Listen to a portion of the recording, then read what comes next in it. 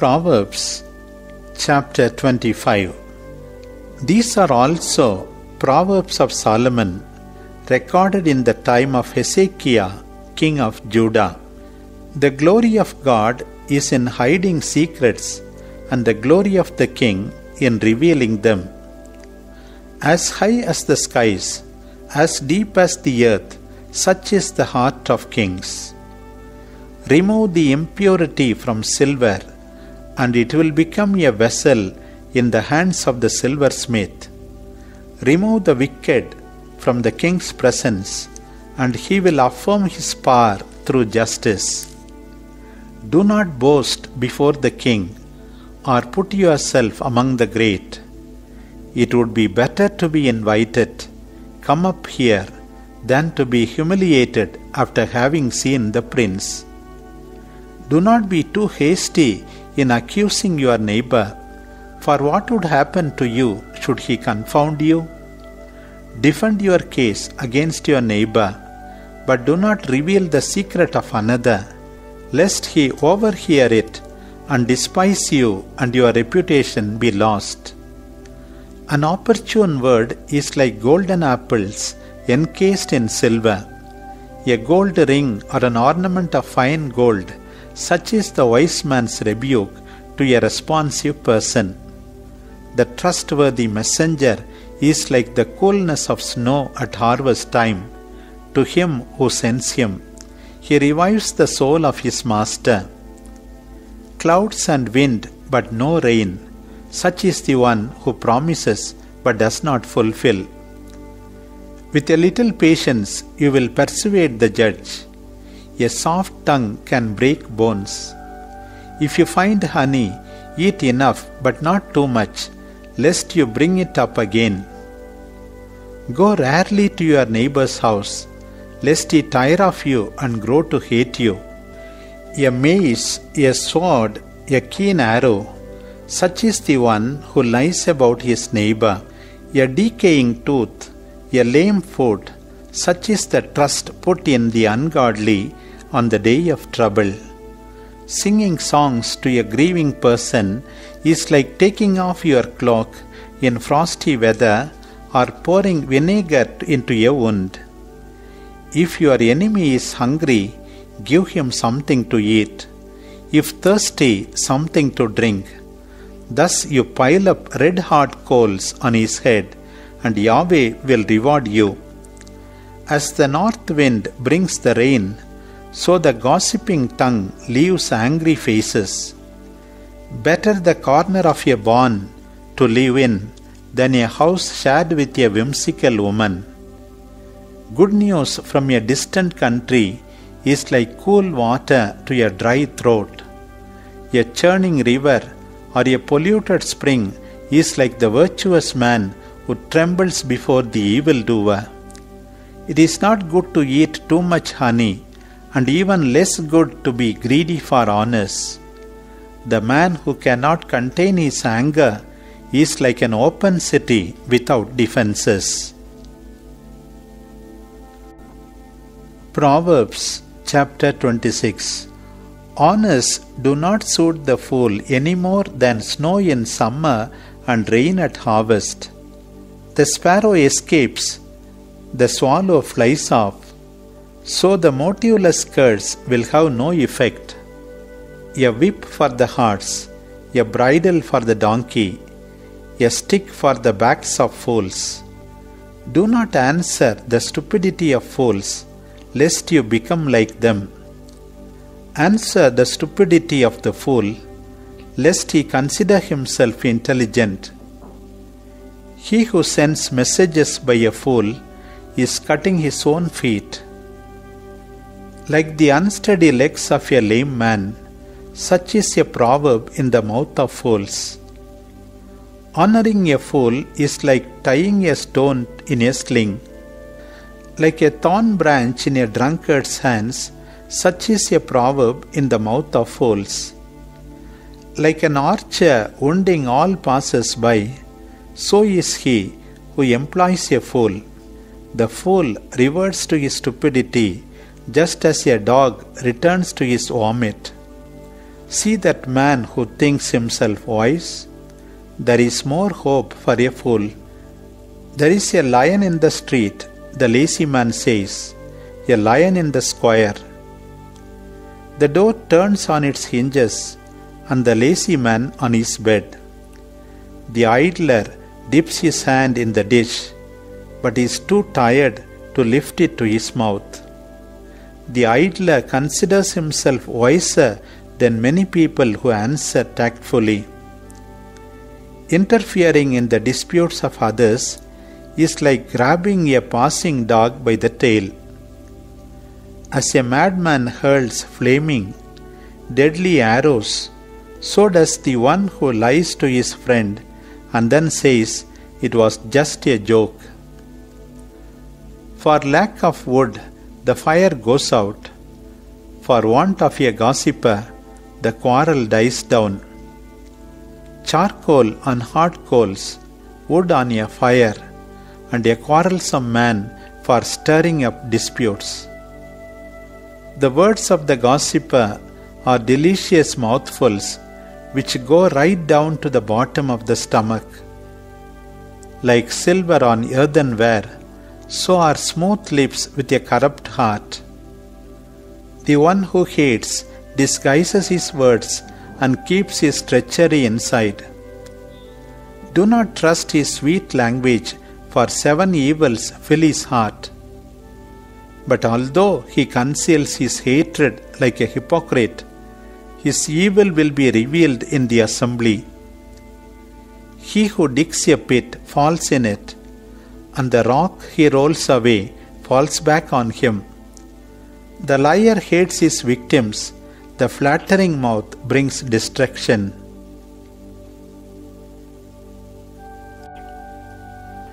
Proverbs chapter 27 Do not feel confident about tomorrow since you do not know how today will end.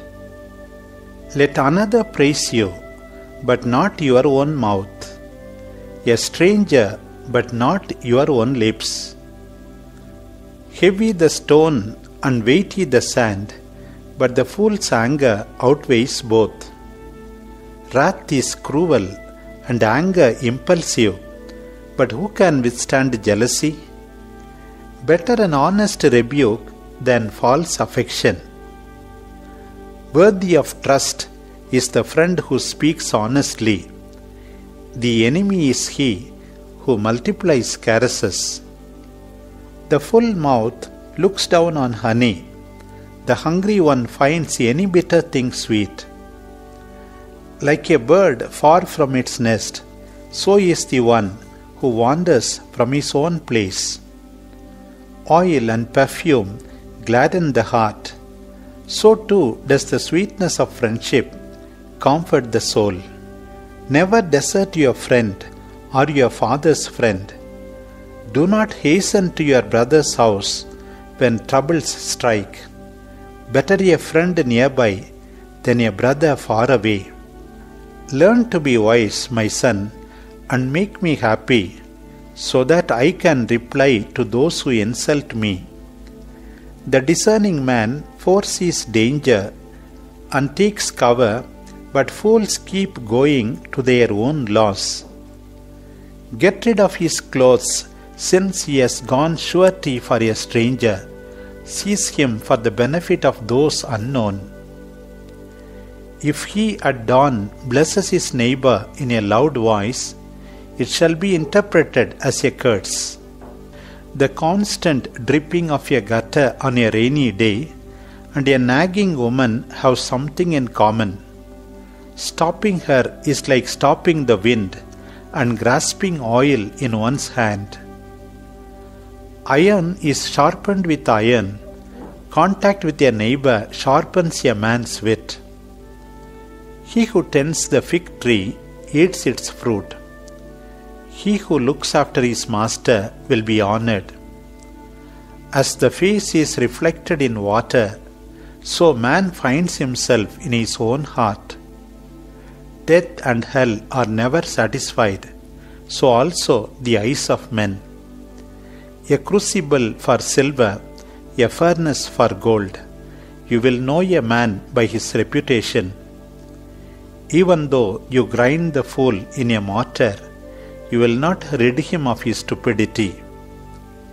Know well the state of your herd and tend to your flock, because wealth does not last forever, and riches are not handed down from generation to generation. Once the pasture is mowed and the aftergrowth appears, and the hay is gathered in from the hills, you should have lambs to clothe you and goats to pay for your fields, sufficient goats, milk to feed you, to sustain your household, and provide for your serving girls.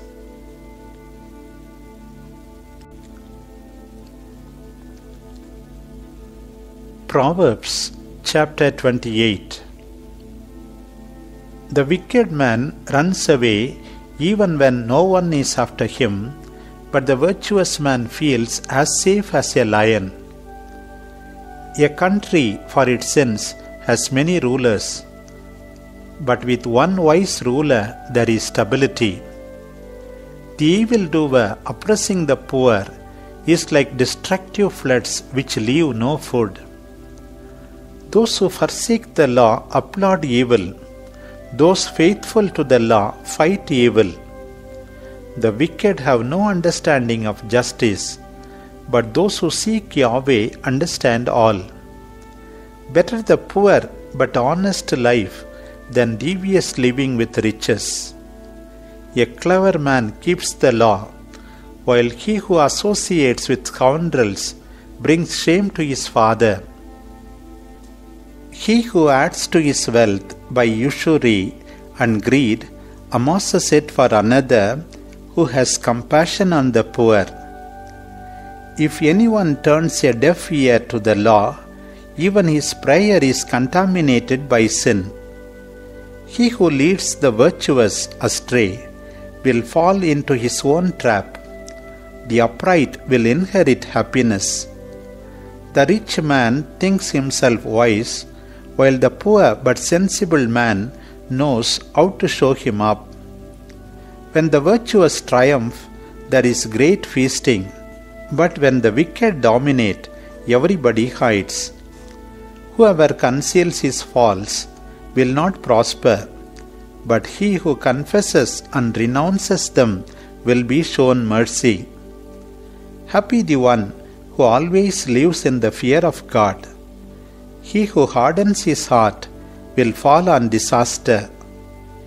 A roaring lion, a hungry bear, such is the bad leader of a poor people. The ruler lacking intelligence multiplies oppression but he who abhors greed will endure. The man wanted for murder will be on the run until death. Let him go. He who goes away honestly will be saved. He who vacillates between two ways will fall in one of them.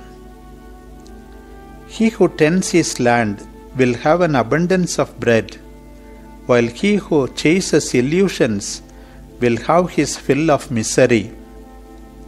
The trustworthy man will be heaped with blessings, but he who is preoccupied with getting rich will not be guiltless. It is not good to show partiality, but a man will do wrong for a mouthful of bread. The greedy eyed man is on the lookout for wealth, not knowing that misfortune will befall him he who reproves another will eventually enjoy more favor than the flatterer. He who steals from his father and mother, saying, It is not a sin, is just like a criminal. The greedy man brings about trouble, but he who trusts in Yahweh will be filled with good things.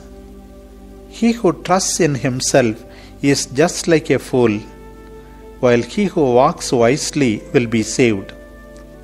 He who gives to the poor will not be in need, but he who turns a blind eye to them will have his fill of disgrace.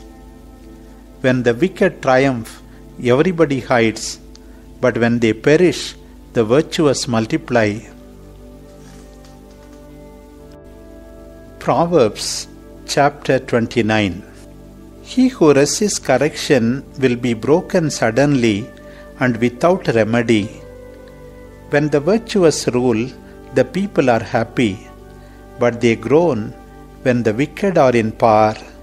He who loves wisdom makes his father happy, but whoever maintains prostitutes will lose his wealth. Through justice, a king makes his country prosper, but the extortioner brings it to ruin. The one who flatters his neighbor lays a snare at his feet.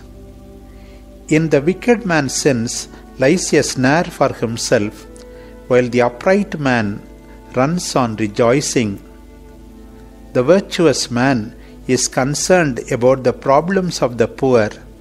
The evildoer, however, understands nothing.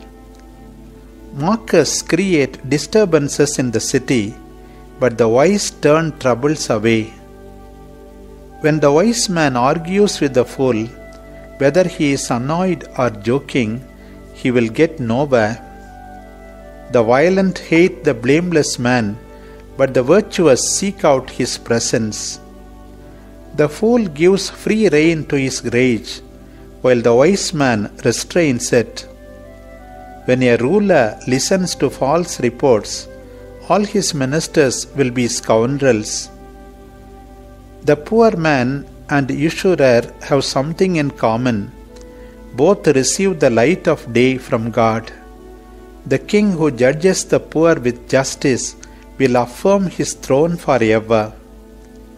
Both the stick and rebuke bring wisdom, while the spoilt child brings shame to his mother. When the wicked rule, sin abounds, but the virtuous shall witness their downfall. Correct your son, and he will bring you rest. You will be happy in him. Where prophets are lacking, the people get out of hand. Happy is he who obeys the law. A slave is not corrected by words. Even if he understands, he will take no notice. You see a man dying to speak, there is more hope for a fool. If you spoil your slave from childhood, he will end up a rebel. The hot tempered man provokes disputes, his anger multiplies his sins. A man's pride results in his humiliation, but he who humbles himself will achieve honors. He who shares with the thief harms himself. Even you who kept silent when you should have denounced him. To be afraid of people is a trap, but whoever trusts in Yahweh will be safe. Many seek a ruler's favor, but each one's fate comes from God. The upright man detests the wicked, and the evildoer hates the honest man. Proverbs chapter 30 The sayings of Agur, son of Jakeh, of Massa. He says, My God, my God, I am worn out and weary, too stupid to be human. I am devoid of intelligence. I have not acquired wisdom or grasped the knowledge of the Holy One. Who has ascended the heavens and descended? Who has gathered the wind in his hands? Who has encircled the waters with his cloak? who has established the limits of the earth? What is his name or the name of his son? Do you know? Every word of God is true. He is a shield in whom man can find refuge. Add nothing to his words, lest he rebuke you and take you for a liar. O God, two things I beg of you. Do not deny me them before I die. Keep lying and falsehood far away from me. Give me neither poverty nor riches. Give me just as much food as I need, lest satisfied I deny you and say, Who is Yahweh? Or else, out of necessity, I steal and profane the name of my God. Do not accuse a slave to his master's face, lest he curse you and you have to pay. What a people are those who curse their father and do not bless their mother, who consider themselves pure, but their sins have not been cleansed. They have a haughty look and disdainful eye. Their teeth are like daggers, and their fangs like blades to devour the weak of the land and the poor of the people. The leech has two daughters Give me and give me. There are three insatiable things and four which never say, Enough the grave, the sterile womb, the earth longing for water, and the fire which never cries, Enough. The eye which challenges a father and despises his aging mother will be gouged out by the ravens of the valley and devoured by the eagles. There are three things which I cannot comprehend, and four which I do not understand the way of the eagle through the sky, the way of the snake on the rock, the way of the ship on high seas, and the way of the human being with the mother. What can I say of the adulterous woman? She eats, and having wiped her mouth, she says, I have done nothing wrong. Three things make the earth tremble. There are four which it cannot withstand the slave who becomes king, the fool stuffed with bread, the unbearable woman who marries, and the maid who inherits from her mistress. There are four tiny creatures on the earth that are among the wisest of the wise the ants that are without strength, but in summer make sure of their supplies, the rock rabbits that are without vigor, but make their home in the rocks, the locusts that have no king, but move forward in organizing groups, the lizard which can be caught by hand but lives in the palace of kings. Three things have a stately step, and four have a noble bearing.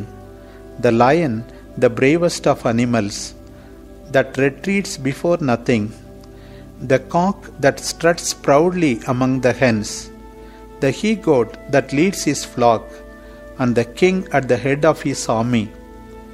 If you have been foolish enough to get angry and afterwards regret it, cover your mouth with your hand.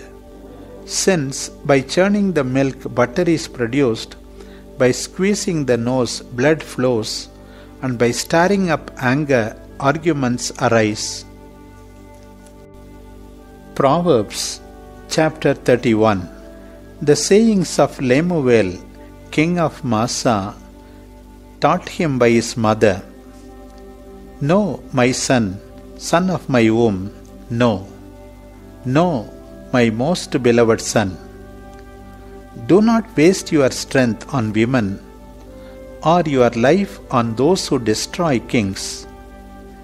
It is not for kings, O Lemuel, not for kings to drink wine, or for rulers to have strong drink, lest in drinking they forget what they have decreed and override the cause of the helpless. Give strong drink to the one about to die, and wine to the heart full of bitterness, so that he may drink and forget his misfortune, and remember his pain no more. Speak on behalf of the dumb, and defend the cause of all who are destitute. Open your mouth, pronounce just sentences defend the needy and the poor. The woman of character, where is she to be found? She is more precious than any jewel. Her husband has complete confidence in her. She will be of great benefit to him. She brings him only good and not evil all the days of her life. She has obtained wool and flax and works them with skilful hands. She is like the merchant ships which bring provisions from afar. She gets up while it is still dark, feeds her household, and allots tasks to the servants. If she sets her heart on a field, she buys it and plants a vineyard with her own hands. She is full of energy, and her arms show her strength. She knows her work is successful, and at night her light remains unextinguished. She puts her hand to the distaff, and her fingers hold the spindle. She reaches out her hand to the helpless and gives to the poor. When snow comes, she has no fear for her household, since they are all doubly clothed. She makes her own quilts, and her clothes are purple and fine linen. Her husband is well respected. He sits in council with the leaders of the people. She weaves linen cloth and sells it. She supplies the merchants with sashes. She is strong and dignified and looks with confidence to the future. She speaks wisely and her words are kind. She keeps an eye on the conduct of her household and is never idle. Her sons rise up and call her blessed. Her husband sings her praises. Many women have done wonders, but you surpass them all. Charm is deceptive and beauty useless. The woman who is wise is the one to praise. May she enjoy the fruits of her labor, and may all praise her for her works.